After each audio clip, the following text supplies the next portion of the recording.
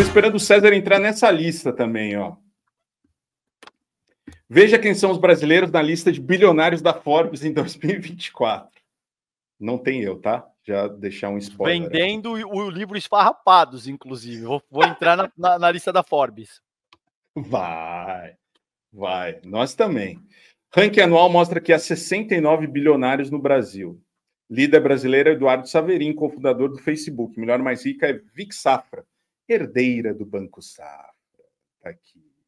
Cofundador do Facebook, Eduardo Saverin, é o brasileiro mais rico, segundo o ranking anual de bilionários da revista Forbes, publicado nesta terça. Com patrimônio de 28 bilhões, ele é conhecido por ser ex-sócio de Mark Zuckerberg, que conheceu enquanto estava na faculdade. A fortuna de Saverin teve um bom impulso nesse ano após a Meta Platforms, controladora do Facebook, Instagram e WhatsApp, apresentar resultados robustos no quarto trimestre de 2023 e anunciar o primeiro plano de distribuição de dividendos da empresa.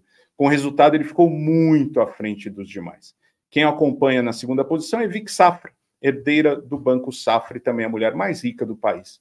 De acordo com a Forbes, ela acumula 20,6 bilhões de dólares, ante 28 bilhões. Meu, 20,6 bilhões de dólares. Cara, o que é isso, mano? 20,6 bilhões de dólares. Dada sua participação na empresa após a morte de seu marido, Joseph Safin, em 2020.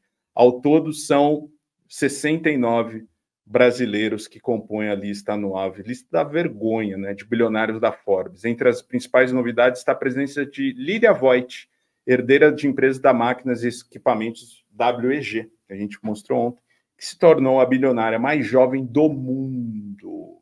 Está aqui Eduardo Saverin, Vic Safra, Jorge Paulo Leman, Marcel Teles, o Sicupira, todos da loja dos americanos. Vocês lembram da fraude da loja dos americanos? Estão aqui, ó.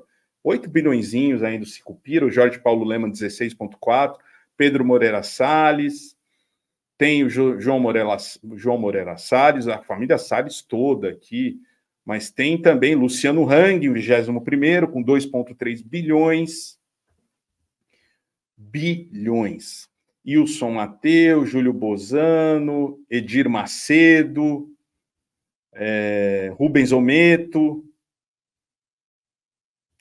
a família Jorge Pfeffer, que é a família Pfeffer também, tudo herdeiro, né? Ah, maravilha. Aqui o Eduardo Voigt Schwartz, nosso primo de Maria Helena Schwartz, Marina Voigt com um bilhão, Maria Frias, eu pensei que era Mário Frias, Lúcia Maggi, Blairo Maggi, e por aí vai, cara. Todos eles bilionários. Tudo que o Brasil precisa, né, Calejão, é de cada vez mais bilionários, né? Como diria Samia Bonfim, bilionários não deveriam nem existir, né? É. Veja entre esses 69 aí se tem um único preto ou pardo ou se tem um único indígena. Ah, mas é mimimi mas a esquerda fica com essa pauta identitária. Não é pauta identitária e mimimi, seu animal. Você que é burro e nega a materialidade factual de como a vida social está organizada. Ou você acha que é, é, que é por acaso? A gente nunca teve um presidente preto ou pardo. Ah, teve o Nilo Peçanha há 115 anos. Não fode. Obrigado. Já, já não, entendeu? Não vou nem ter categoria para rebater esse tipo de argumento, mano. Sim. O cara que vier falar do Nilo Peçanha há 115 anos, eu já vou meter essa, não fode. Tá?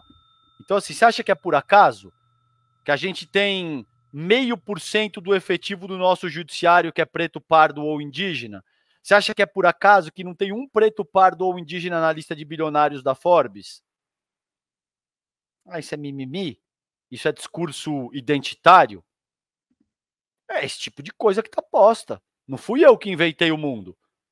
Ainda que tivessem bilionários, tá bom, então vamos. Como que tá organizada a nossa sociedade? 56% são pretos e pardos, são negros. Então você, te, você teria que ter nessa lista da Forbes aí, no mínimo, 40. Se são 70, no mínimo 45 pessoas pretas e pardas na lista de bilionários. Ah, não funciona assim? Ué, mas vocês não falaram que o capitalismo é um sistema absolutamente justo e maravilhoso porque dá chance para todo mundo? Que porra de chance é essa, velho? Chance para quem?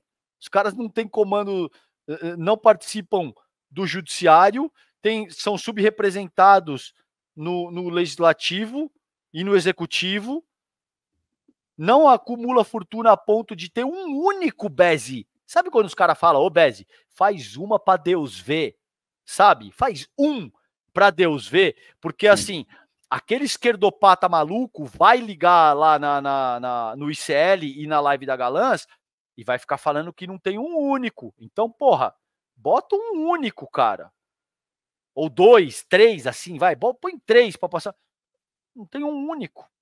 É isso. Então você vê como tudo que a gente discute reiteradamente, mano, remete a essa mesma dimensão de como é que a gente está organizado enquanto sociedade. Sim, é verdade.